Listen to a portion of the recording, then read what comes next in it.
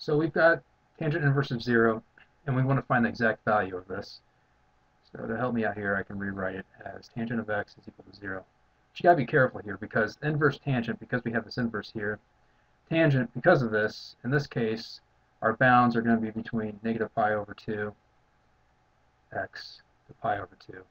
The reason I state this is because technically because tangent is equal to y over x or sine over cosine, uh, technically pi could be a solution too. But because of these bounds, this states you can only have one answer, so it has to be between uh, the fourth quadrant and the first quadrant. So let me write here real quick.